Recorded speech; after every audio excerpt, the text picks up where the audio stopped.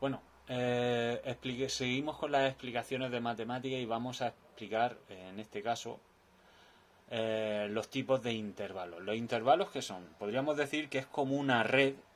Cuando nosotros vamos a pescar, ponemos una red y pescamos peces. Los de dentro son dentro de la red sería eh, hay peces y la red sería los extremos, ¿de acuerdo? Pues un intervalo es lo mismo.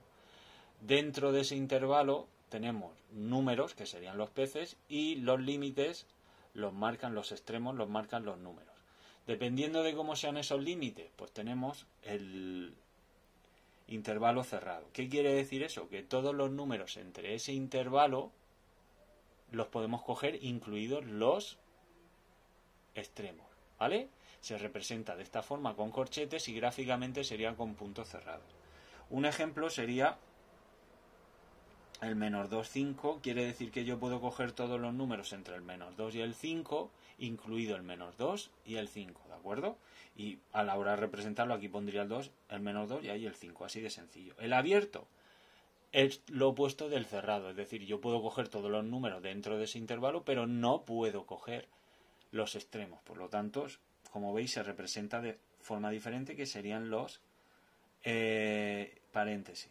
Lo mismo, si pongo el mismo intervalo, esto quiere decir que yo puedo coger todos los números entre el menos 2 y el 5, pero no puedo coger ni el menos 2 ni el 5. Y como veis, se representa al ser abierto con un circulito así, hueco. ¿Vale?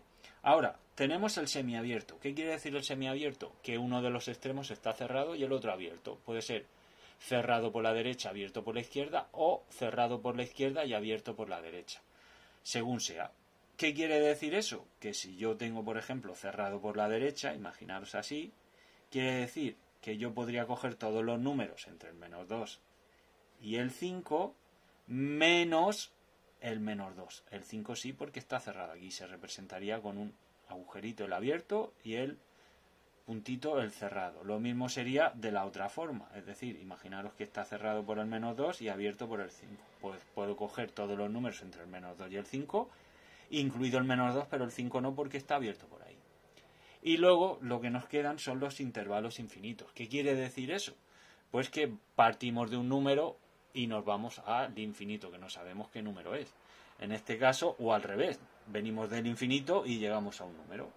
Los tenemos abiertos y cerrados. ¿Qué quiere decir? Pues mira, en este caso si te dice del menos 2 al más infinito, quiere decir que yo puedo coger todos los números del menos 2 al infinito, pero los extremos no puedo cogerlo, sería abierto.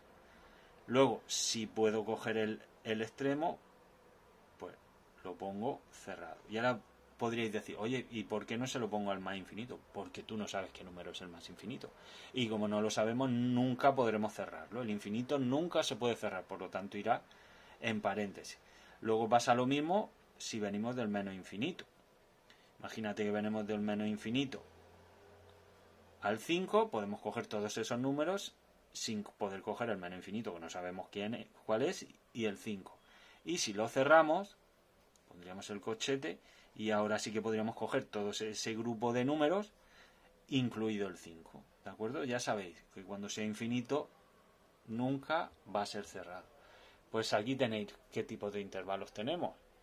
Cerrado se representa con corchete y ya sabéis que se pueden coger los extremos Abierto se representa con paréntesis, sabéis que no podemos coger los, extremos.